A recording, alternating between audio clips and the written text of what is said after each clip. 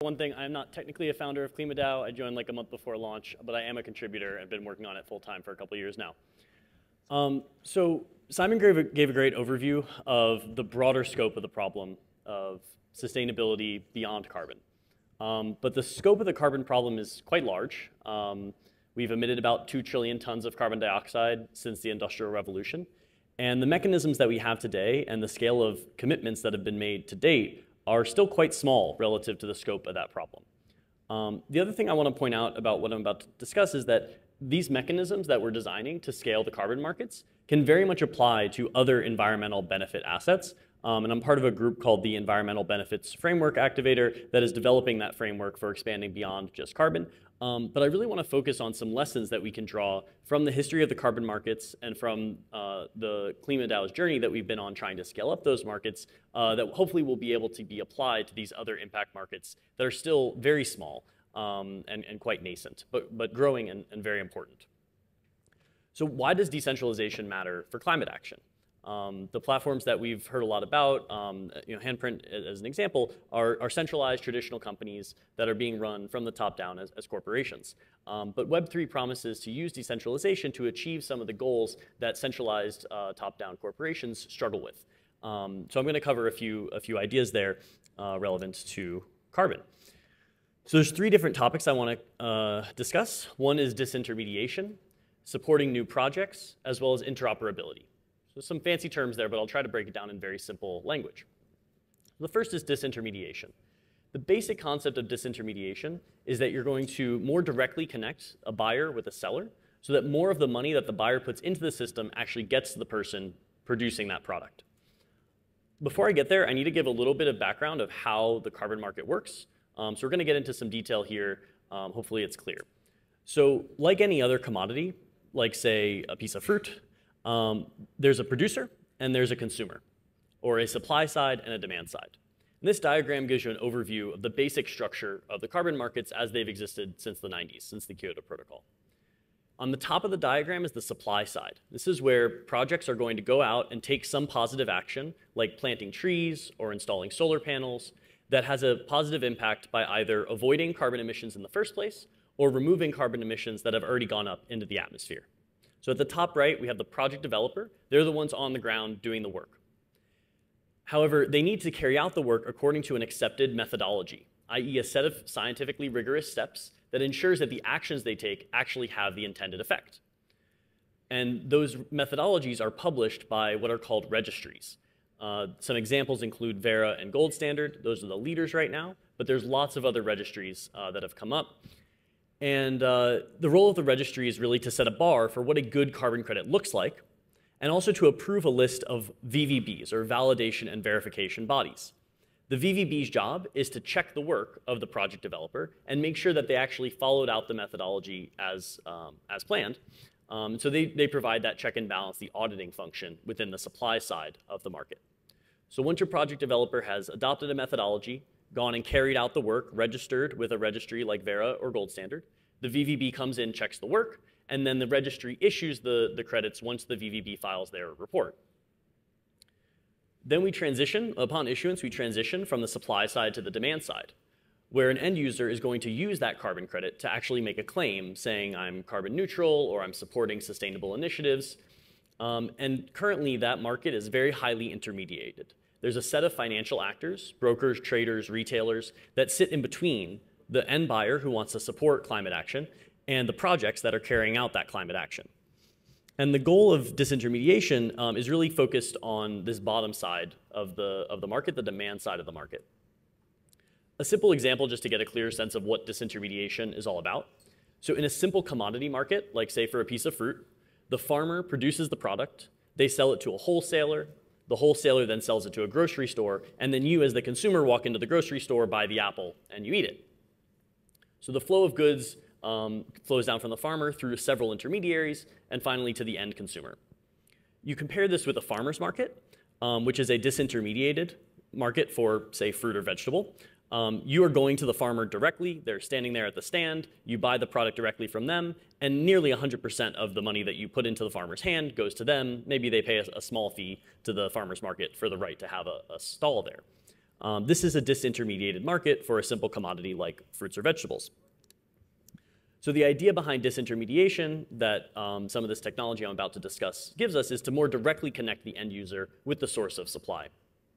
And there are three ways that blockchain technology enables us to do this.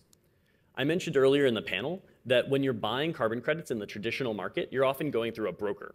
And that broker takes calls over the phone, you go back and forth over email, and settle the transaction usually with a wire transfer.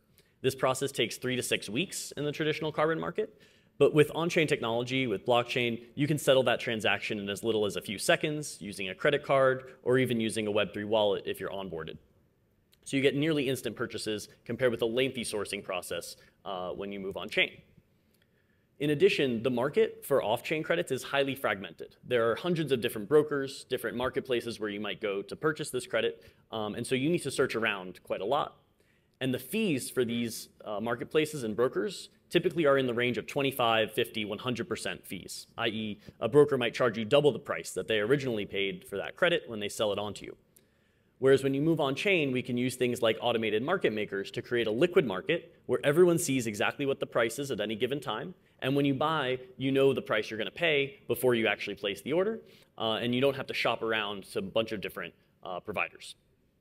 In addition, the fees for on-chain transactions can be as low as a few percentage points, um, and, and that's really dramatically lower than what you would see with an off-chain broker.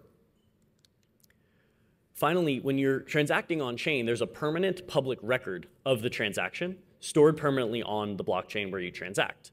This is as compared with an over-the-counter trade with a broker where you know, you called him over the phone, there's an email record, but unless you're on that email chain, nobody really knows what price you paid. And so it's very hard for project developers to have negotiating power with their financiers and their off-takers to say, this is what I know people are paying for credits like the ones I'm producing.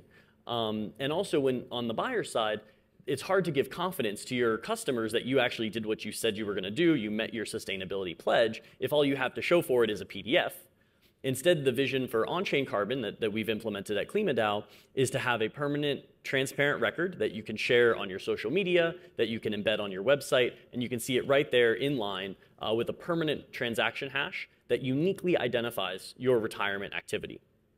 So it's fully transparent as opposed to the highly opaque off-chain market.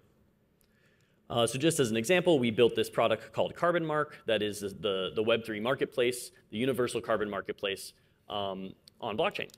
And you can go on there today. We've got 20 million credits from 180 different projects. Um, we've traded over 4 billion in volume to date. And uh, these are examples of some of the projects. Uh, these particular projects all come from the Verra registry, uh, but we're in the process of onboarding additional projects that come from Web3 native registries as well.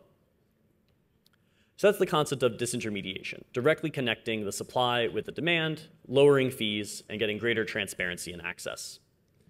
The second point is around supporting new projects.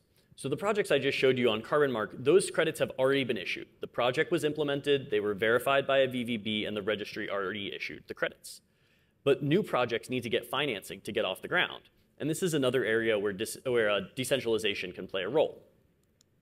Uh, so this is around uh, the sort of middle section of the market where a project developer gets financing and then offloads their credits uh, into the market. So there's a lot of different types of carbon credit projects. Um, there's dozens of different methodologies ranging from planting trees, installing solar panels, switching to more efficient cook stoves. And each of these projects has different risk parameters, uh, as well as different costs to implement. But the one thing they all share in common is a high upfront capital requirement. They need hundreds of thousands to millions of dollars to actually get off the ground and go take the action that's going to generate the carbon credits. And so they need financing to do that. And typically these projects are financed through backroom deals where they interact with a financier or a large company that provides the capital, uh, usually in private. And then once the deal is signed, they go and they do a press release. Uh, so you may have seen recently uh, Heirloom received a large purchase from, from Microsoft, uh, but this deal was negotiated in private. And we just found out after the fact that Microsoft had decided to make this, uh, this investment. What KlimaDAO is trying to do uh, what we have done is built an open public governance process where projects can approach the DAO for funding uh, via our governance forum. And there's an example I'm going to walk through here of a recent uh, example of that.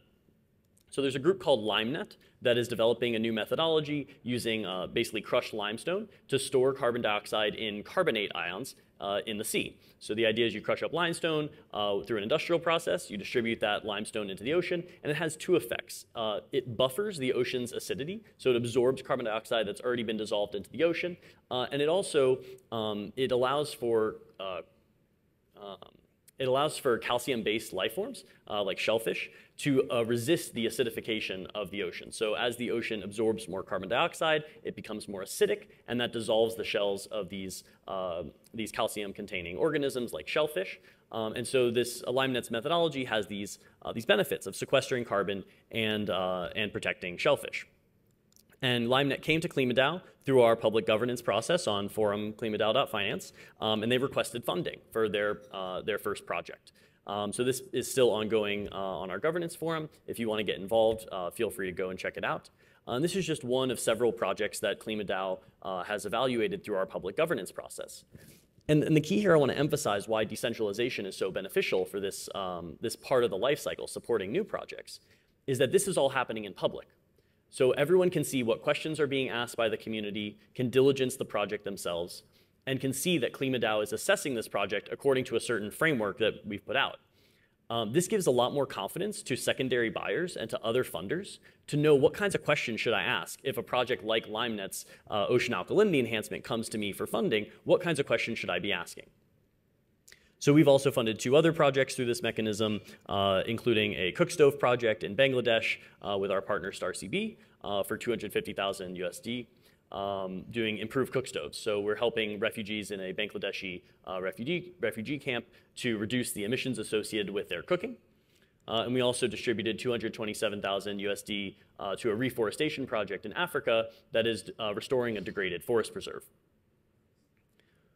So that's the idea of supporting new projects with a decentralized governance process, increases the transparency of the vetting process, and gives other financiers something to look to uh, when they're going through the vetting process for their own projects. Finally, interoperability. Um, this was mentioned in the panel earlier, but there's a proliferation of different uh, carbon credit standards, different mechanisms for uh, interacting with the carbon markets, as well as other environmental assets that are coming online, which add another level of complexity. Uh, so this issue really affects the entire market, um, and it's important that as this complexity increases, we have mechanisms for simplifying that complexity so the end user doesn't get completely overwhelmed. Just to give you a very uh, concrete example of how insane this whole market has gotten, um, there are now hundreds, thousands of different organizations operating across the value uh, spectrum, the value chain from the buy side to the supply side, and the goal of interoperability is to reduce some of this complexity. An analogy, when you're traveling, you probably have dozens of different cable types. If you're going to different countries, you have to deal with different outlets. The idea of interoperability is to create a universal adapter so that rather than having to deal with all the different plugs, you have one adapter that you can travel with and you know that any plug that you encounter will work with this adapter. And so KlimaDAO is building an interoperable ecosystem where no matter where the credit was issued from, no matter what type of asset it is, the buyer has the same experience of going onto a website, putting in their payment information, and getting that permanent verifiable record. So just to review, there are three key benefits of decentralization that I've highlighted today.